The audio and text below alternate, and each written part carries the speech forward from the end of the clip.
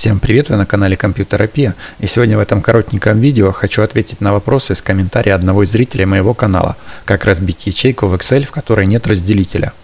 Я вам покажу один способ с формулами, как разделить текст в ячейки. Очень часто мы сталкиваемся со случаем, когда между необходимым текстом имеется какой-то разделитель.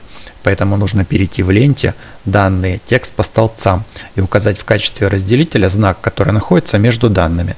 Произойдет вот такое разделение – что же делать, если из текста нам нужно отобрать два знака в начале текста в одну ячейку, а оставшийся текст в другую?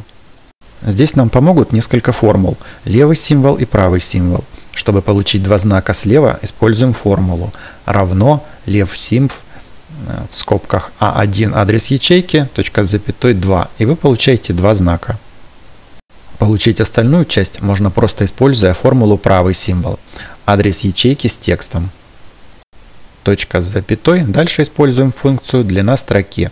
Опять указываем адрес ячейки с текстом и от него отнимаем два знака, которые мы уже получили в соседнем столбце. Так просто и незатейливо вы можете разбить ваш текст в ячейки на то, как вам необходимо, используя функцию левый символ и правый символ. Также можно получить тексты из середины исходного значения.